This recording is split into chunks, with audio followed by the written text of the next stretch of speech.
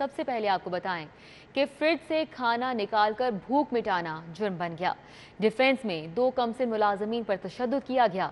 एक जाँ बहक जबकि दूसरा जख्मी हुआ। बहावलपुर के रिहायशी भाई एक साल से नसरुल्ला के घर मुलाजिम थे।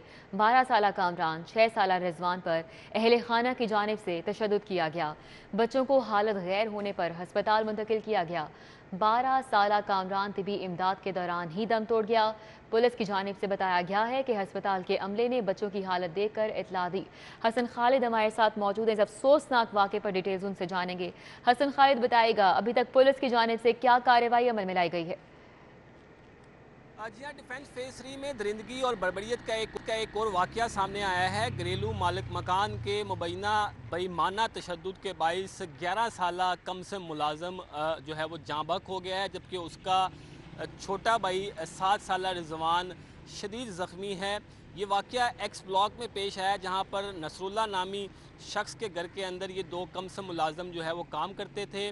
फ्रिज के अंदर से बग़ैर पूछे चीज़ खाने पर तैश में आ गए और अहलहाना की जानब से दोनों कम सिम बच्चों को बेईमाना तशद का निशाना बनाया गया, जिसमें एक बच्चा ग्यारह साल ज़ख्मों की ताब ना लाते हुए हॉस्पिटल पहुंचकर जहाँ बक हो गया, जिसकी शनाख्त कामरान के नाम से हुई है, जबकि उसका छोटा भाई सात साल रिजवान ज़ख्मी हालत में जनरल हॉस्पिटल में जेर इलाज है।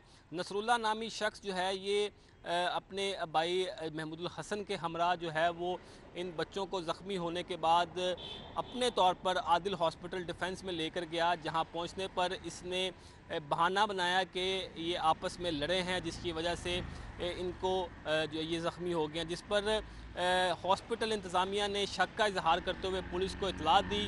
पुलिस मौका पर पहुँची तो पुलिस ने मौका पर पहुँच कर जब तमाम मालूम इकट्ठी की तो बच्चों के जिस्म पर बेमाना तशद के निशानात मौजूद थे, जिनमें एक ग्यारह साल बच्चा ज़ख्मों की नान ताब ना लाते हुए दम तोड़ गया था।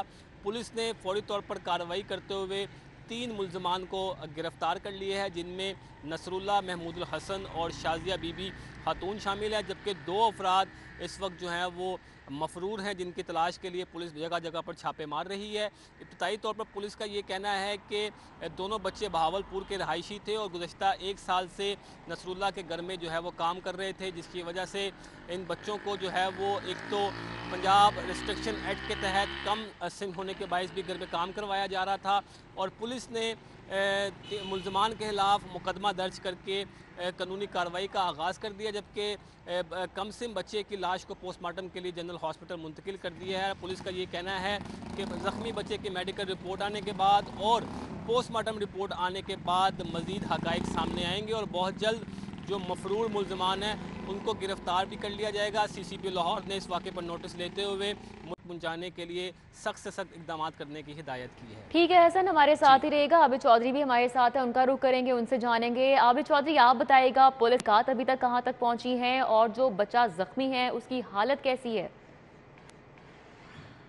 जी बिल्कुल ये इंतहाई अफसोसनाक वाक़ डिफेंस में पेश है जहाँ पर पुलिस के मुताबिक बताया जा रहा है कि बाउलपुर के रहायशी दो भाई हैं जिनमें से एक साल एक साल से जो है वो नसरुल्ला के घर में मुलाजिम थे और फ्रिज से खाना निकालकर बूट मिटाना भूख मिटाना जो है वो उनका जुर्म बन गया है। दोनों बच्चों पर पहले खाना की जानब से बेईमाना तशद किया गया। तशद के बाद दोनों बच्चों की हालत गैर होगी, जिनको तशवीशनाक हाल में अस्पताल पहुँच जाएगा। तो एक बच्चा जो है, वो अस्पताल पहुंचकर दम तोड़ गया। पुलिस का कहना है कि वाकई का मुकदमा दर्ज कर लिया गया है, मुलजमान नसरुल्ला महमूदुल हसन और शाजिया बीबी हैं, जिनको गिरफ़्तार कर लिया गया है। अलबत्ता इतलाई तहकीकत के दौरान ये सामने आया है कि मुलजमान का कहना है कि बच्चों ने बगैर इजाज़त लिए फ्रिज में से खाना निकाल कर खाया था, जिस पर उन्हें बड़ी माना तशद का निशाना बनाया गया। पुलिस का कहना है कि तीनों मुलजमान गिरफ़्तार है और वाकई का मुकदमा जो दर्ज किया गया, उसमें पाँच मुलजमान को नामजद किया गया है। दीगर मुलजमान की गिरफ्तारी के लिए छापे मारे जा रहे हैं। अब चाइल्ड प्रोटेक्शन ब्यूरो की जानब से महज एक नोटिस ले लिया गया है, लेकिन पहले चाइल्ड प्रोटेक्शन ब्यूरो की जानब से कोई कार्रवाई नहीं की जाती। जैसे ही कोई वाक्य रुनमा होता है तो चाइल्ड प्रोटेक्शन ब्यूरो जो है वो हरकत में आ जाता है और उसके बाद नोटिस लेते हुए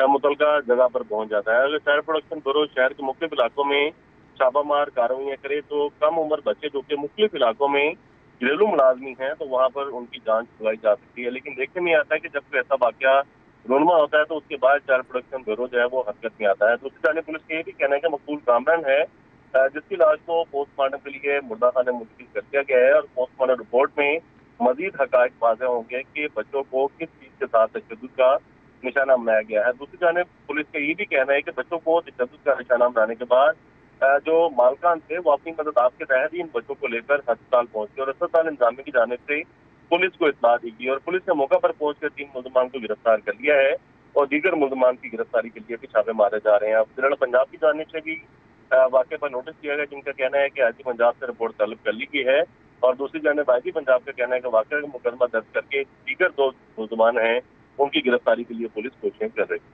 ठीक है, बहुत शुक्रिया। आबिद चौधरी हमारे साथ अपडेट कर रहे थे। हसन खालिद भी हमें आगाह कर रहे थे। हसन, आपका भी बहुत शुक्रिया।